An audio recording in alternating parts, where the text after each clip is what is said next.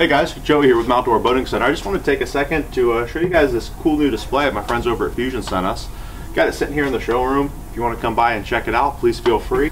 This one's got two six and a half inch speakers installed along with two of their most popular head units. Everything's hooked up and functional, including the RGB controller here. We can change the color on these speaker cones and this wireless remote right here. You can hook up the Bluetooth to your phone like I've got it right now. Know, get hands-on and, and, see if there's something you're interested in. Uh, show you a couple of the cool products they offer now. Um, right now, my most popular stuff right here, these six and a half inch speakers, the same ones installed here. I've been doing a ton of these. They sound incredible for six and a half inch speakers. We've got a, a collection of their different head units here. We've right here, which is a, a really neat new product from Fusion. This right here, this is a wireless Bluetooth remote. So with this, you don't have to run any wires, it's battery powered.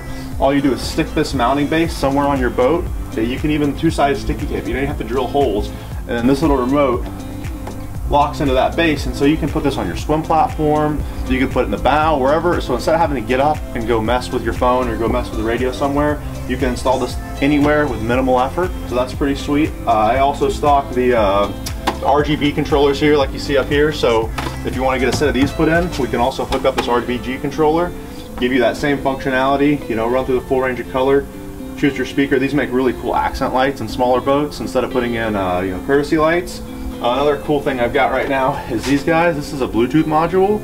If you've got a boat that's a little bit older that doesn't have Bluetooth functionality in the radio and you're not looking for a whole new radio, if you have that old school auxiliary jack on there where you got to put the headphone jack into the boat and into your phone, what I can do is we can take this, we can put this in behind the dash, run power to it, hook it up in there, and now you've got Bluetooth functionality on your old school radio, so that's pretty sweet. Yeah, come by, check it out, have some fun, and let me know if you'd like to get some of this stuff.